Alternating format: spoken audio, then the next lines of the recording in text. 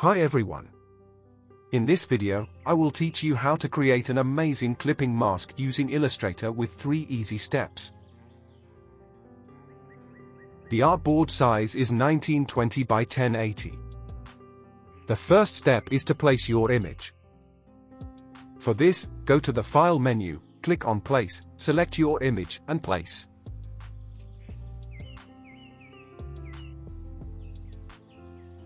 Adjust its size.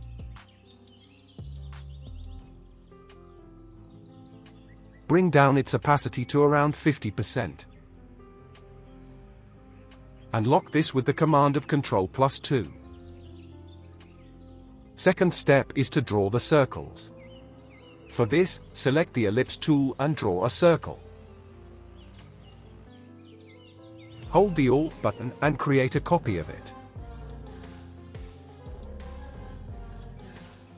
Create multiple copies and scaling it accordingly. Follow the process. I will fast forward this part to save your time.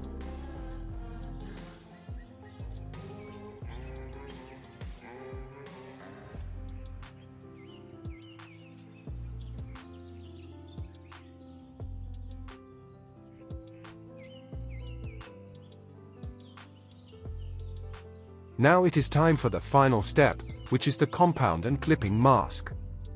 Select all the circles, go to the Pathfinder panel, and click on Unite.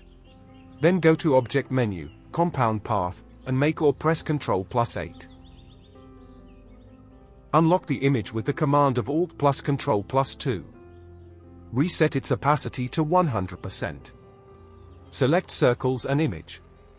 Go to the Object menu, clipping mask and make or press Ctrl plus 7. And click on Trim View to previewing artwork. You can edit the photo and circles with the Direct Selection tool.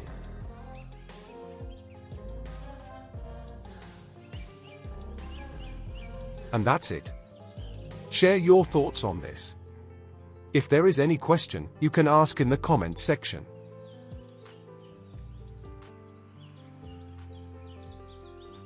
Thank you for watching.